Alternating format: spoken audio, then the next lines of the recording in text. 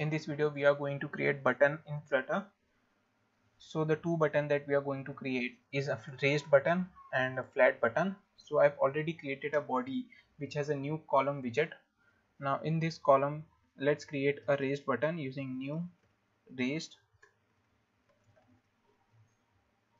Now this raised button has a property called as on press using which you can perform action with raised button right now it's null so let's restart our app.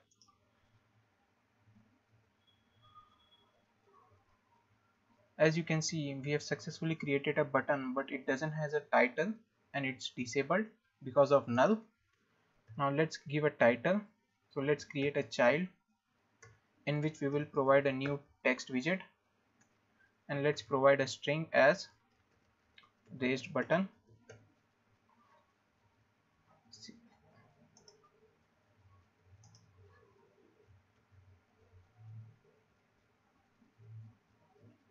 now we have successfully added title to the raised button.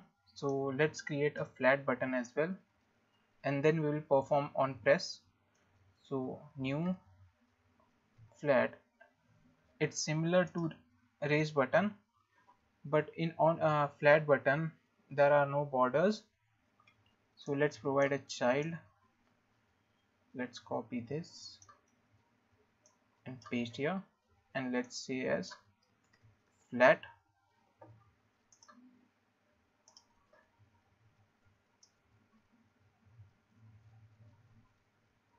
and as you can see we have successfully created two button but they are disabled. So let's create an on press operation. So I've already created a, a method and declared a string as p text so what we will do right now here is this on press takes a function.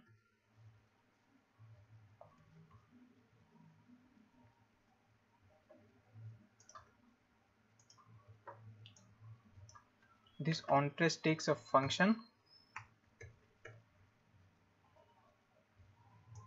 Now this in this function we need to provide this method. So let's call this method as method1 and let's give a parameter let's say you pressed raised button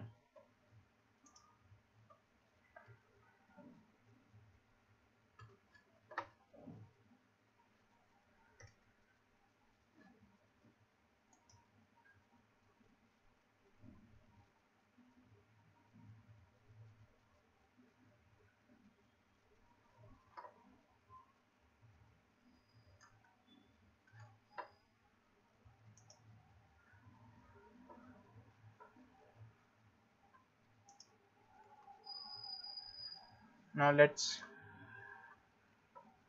restart the app. And as you can see our raise button is been enabled. And if I click on the raise button we will get a message. Or we are not getting a message because we have not provided a text that can display the message.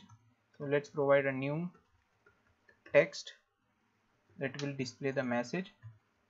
And let's say p text. And let's restart our app.